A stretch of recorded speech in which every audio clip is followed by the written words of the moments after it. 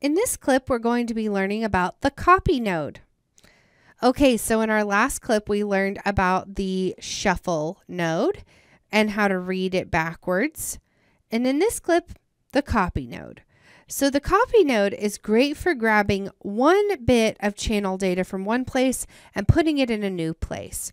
Now, a lot of times you're going to get renders from somebody if you're, you know, somebody else is rendering for you.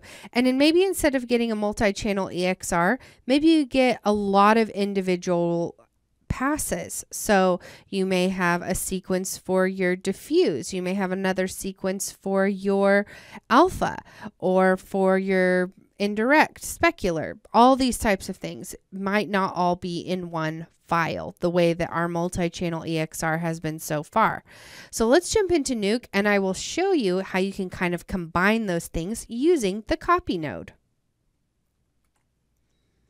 Okay, so let's go ahead and we'll be bringing in a couple of files for this. So again, just hover over this area here, hit the R key, and we're going to be bringing in our robot no alpha and I'm going to shift click so I can select two things and have robot alpha only. Bring those both in. Okay, so let's go ahead and take a look at these guys.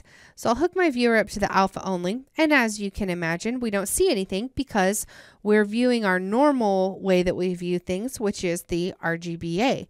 Now, if I hover over this area here and hit the A key, I'll see my alpha channel and you can see that that changed. If I hit A again, RGB it is what it'll go back to. Now, if I come over here and I look at the RGB, I see my robot. But if I hit A, I don't see anything because there's no alpha channel. This is also evidenced by zooming in down here and seeing we've got RGB channels here and just the A channel over here. So what do I do with this? What if I need to, you know, merge this with my background the way I did over here. In fact, I'll take this little pipe away and let's view what happens with our merge. So we're getting this weird kind of ghostly robot because B doesn't have an alpha channel.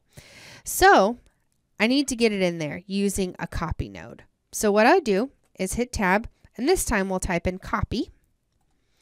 And the copy works um, where the input on A is where it's copying from, and the input on B is where it's copying to.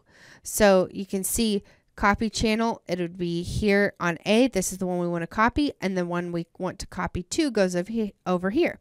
Now, by default, they're both set to alpha. So that isn't um, that actually is what we want to do for this because we want our alpha channel from this read node to go into our alpha channel over here. So I will, because there is no alpha, so I'll plug in the A right there. And then our B will be plugging in right here. So to recap, our alpha is coming from this read node and it's going into this copy node where it's added to the information from this node here.